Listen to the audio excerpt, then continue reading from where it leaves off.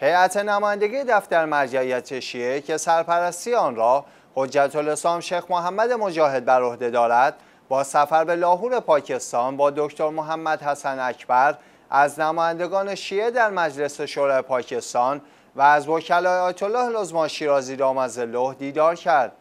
طی این دیدار دو طرفه در زمینه فعالیت‌های سازنده دفتر مرجعیت شیعه در داخل و خارج از کشور ایران به گفتگو پرداختند. همچنین این هیئت ملاقاتی با حجت الاسلام شیخ صباح قومی متولی و امام جماعت مسجد جامع حیدری در شهر لاهور داشت که در این دیدار برخی از آثار و تعلیفات آیت الله العظما شیرازی دامزله نیز به وی اهدا شد.